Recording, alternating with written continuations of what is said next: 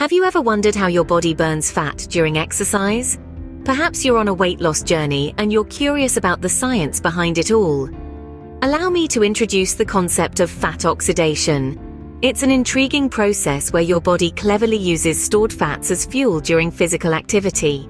Imagine it as a tiny furnace within your cells, slowly but surely burning away those pesky fat molecules. Now, the intensity of this fat-burning furnace varies. When it's burning at its brightest and fastest, we call this maximal fat oxidation, or MFO for short. It's like the turbo boost mode for your body's fat-burning engine. But just like any engine, there are factors that influence its efficiency, including your fitness level, the types of food you consume, and your unique hormonal balance. So now you know that fat oxidation is your body's method of using fat for fuel. But how does this process hit its peak, or maximum? Let's dive in. Maximal fat oxidation sounds like a complex term, doesn't it? But don't worry, we're going to break it down. Imagine a car engine. The more fuel it burns, the more power it produces. Our bodies work in a similar way, but the fuel here is the fat stored in our bodies. Maximal fat oxidation, or MFO for short, is essentially the peak rate at which our bodies burn this fat during physical activity. It's like hitting the top gear in your car, where the engine is working at its maximum capacity. Now you might wonder, why does this matter? Well, understanding MFO is a game changer if you're looking to lose weight. By knowing how and when your body hits its peak fat burning rate, you can better tailor your exercise routines and diet to maximize this effect. But here's the interesting part. Not everyone's top gear is the same. Several factors can influence your body's maximal fat oxidation. Just like some cars are designed for speed while others for fuel efficiency, our bodies too have different capacities for burning fat. Your fitness level, for instance, plays a significant role.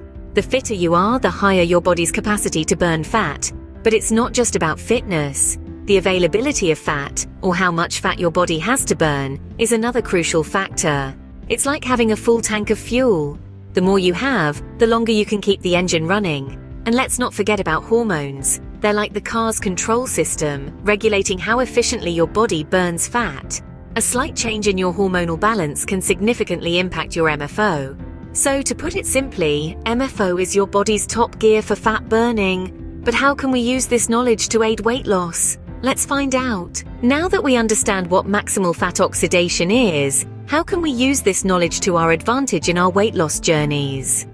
Well, the key to unlocking maximal fat oxidation lies in the very activities we often associate with weight loss exercise and diet.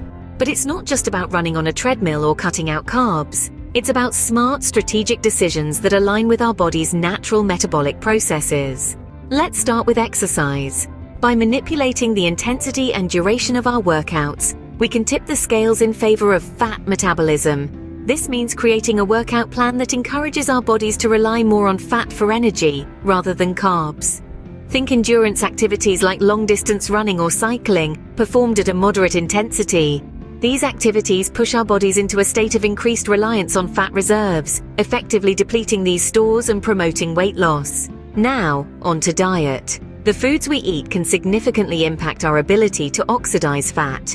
Integrating specific nutritional strategies can enhance this process. For instance, a diet rich in healthy fats and low in simple carbs can optimize the availability of fatty acids for oxidation. Consuming smaller, more frequent meals throughout the day can also maintain a steady supply of substrates for fat metabolism.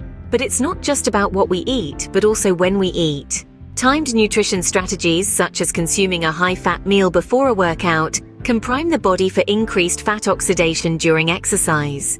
The beauty of maximal fat oxidation is that it offers a scientific, personalized approach to weight loss. By understanding our individual metabolic responses to exercise and diet, we can tailor our weight loss strategies to our unique physiological needs. This isn't a one-size-fits-all approach, but a custom-built plan designed to maximize fat burning and promote sustainable weight loss. So, there you have it. By understanding and harnessing the power of maximal fat oxidation, you can turbocharge your weight loss journey. Remember, knowledge is power, and a little science can go a long way in helping you achieve your goals.